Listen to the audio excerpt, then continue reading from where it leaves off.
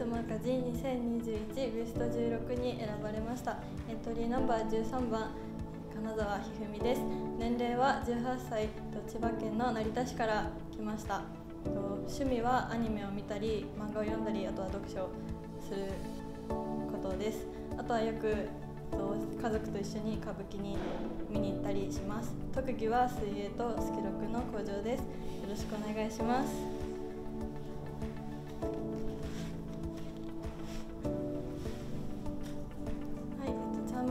はおへそ横のおへそとあとここにほくろがあるところです。あとお母さんに耳たぶが大きいねって言われたのでちょっとチャームポイントです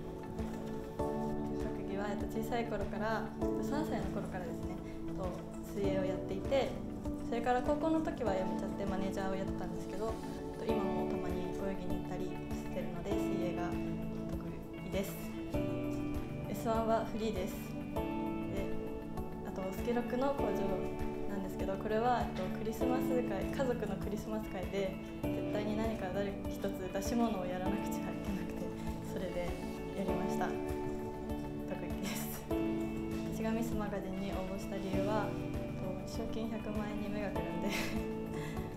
実はその私の将来の夢っていうのが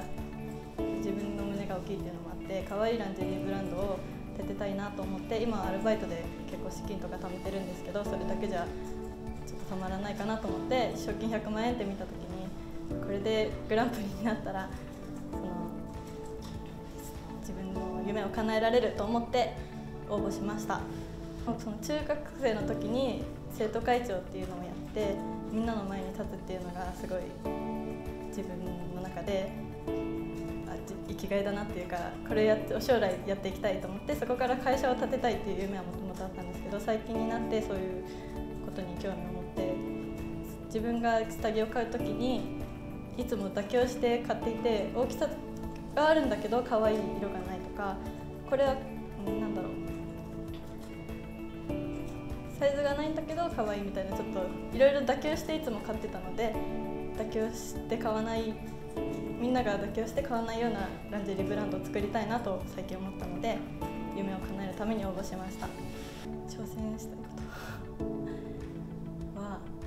私はそのもともとお金目当てで応募したのでアイドルとか女優とかには全然目指してはいないんですけどでももしなれるんだったら私の憧れである河合直子さんみたいなアイドルになりたいなと思ってます。